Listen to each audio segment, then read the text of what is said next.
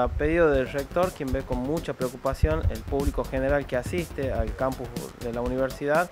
se desarrolló un sistema que pueda mantener un registro de las personas y darles un orden y una organización para que asistan a realizar los trámites presenciales.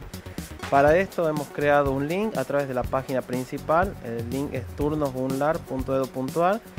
mediante el cual se puede registrar las personas eh, colocando los datos del DNI, un mail donde les va a llegar la confirmación del turno. Ahí cada vez que seleccionan uno de estos trámites le indican los requisitos de cada uno de los trámites y pueden elegir el día y la hora para asistir eh, y ser controlados a través del ingreso en el triage de la universidad donde deberán cumplir con las normas de bioseguridad, se les hace la toma de temperatura y de la desinfección de las manos.